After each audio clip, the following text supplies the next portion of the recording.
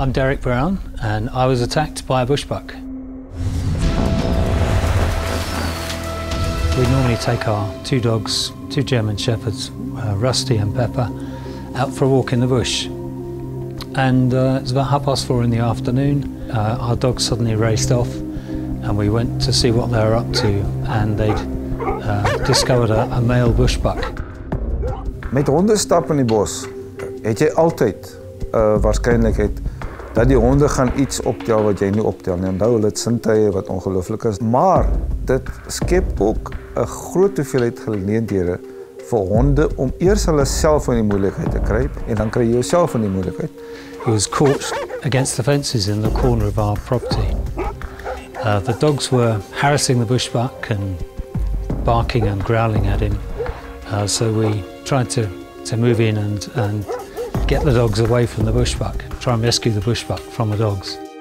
Bosbok is 'n beskerming teenoor enige gevaar is sy heel eerste instink is om doodstil te gaan staan. Bosbokke sal hulle self begin verdedig natuurlik wanneer hulle voel wat hulle dat hulle uh goed bedreig word. En gewoonlik is dit uh in gevalle waar hulle nie 'n uh, geleentheid sien om die bedreiging te ontwyk nie. When we got close, he did sort of nod his head and snort a couple of times. Uh I guess a kind of a warning. Daai is alles tekens wat vir jou sê dat hierdie dier is onder een of ander stres, daar's een of ander goed wat hom pla. Is baie baie min dat bosbok ramme aggressief in 'n in 'n in 'n regte bekleierery ontaard. Kort horingkies wat amper soos messe op op die kop van 'n bosbok is, is 'n redelike uh, dodelike wapen.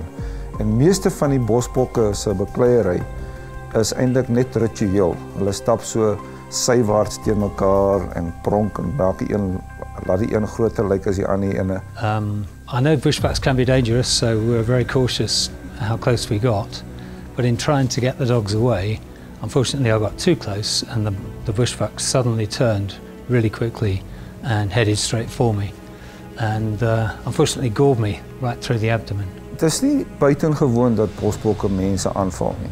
Daar's effektief drie gevare wat die bosbok uh waargeneem het terwyl hy daar gestaan het. Hy nou obviously probeer om om in 'n rigting te stap en toe in 'n in 'n in 'n draad vasgestap en hy het baie bedreig gevoel deur die twee honde wat daar sou was. En toe die derde gevaar wat 'n mens by is bykom. Uh het die bosbok waarskynlik gevoel kyk dinge is nou bietjie erg hierso. Uh ek ek ben nou uh beklei ek het nie 'n plek om uit te kom net. It was a strange situation because everything seemed to happen in slow motion at that point. But uh, I was lucky in one respect in that the um, bushbuck gored me with one horn. So one horn went in here and the other horn just missed and went outside.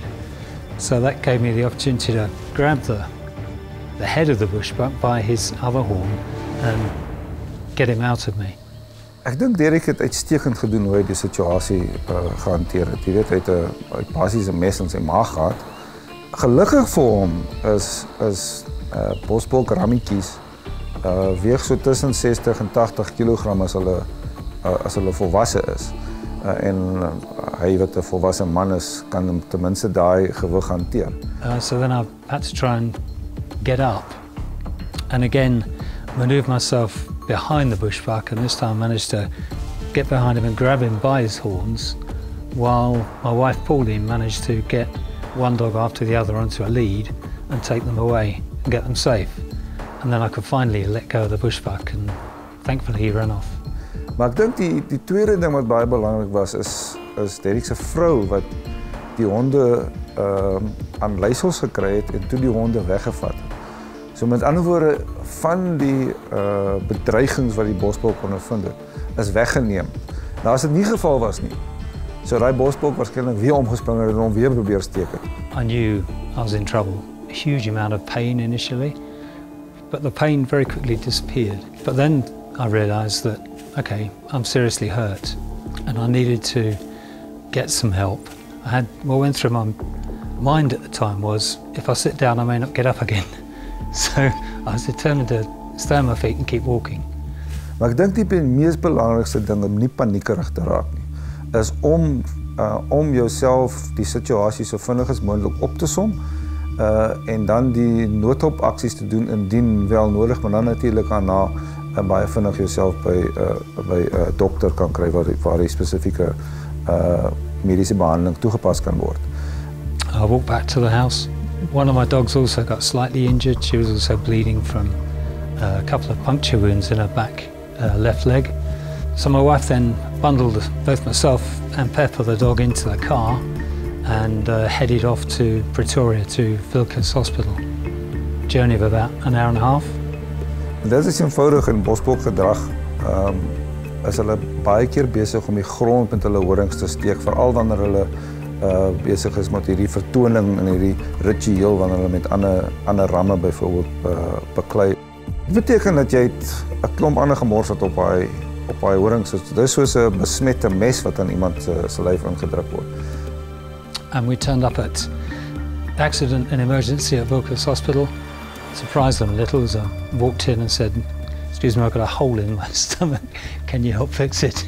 Uh, that's when they realised the injuries internally were a lot more serious than they first thought. Started to deteriorate quite rapidly and ended up with an emergency operation called a laparotomy and uh, found that I've got a um, pierced colon, colon had ruptured inside and out and a horn wound had gone right the way through my insides. Luckily missing a lot of important organs. Uh, the surgeon did say at one point I was probably only about an hour away from going. Die mees belangrikste ding is om sulke situasies te probeer vermy. Deur net eenvoudig logies te wees in terme van hoe jy in die veld stap. The one thing we do differently is now we, we still walk the dogs uh, twice a day as we always have, but this time they're on leads. so that um, just to reduce the danger for them as well as for us. Things can turn around so quickly. You know, what started off as just a normal, peaceful Sunday afternoon stroll with the dogs in the bush um, turned out to be absolutely life-threatening.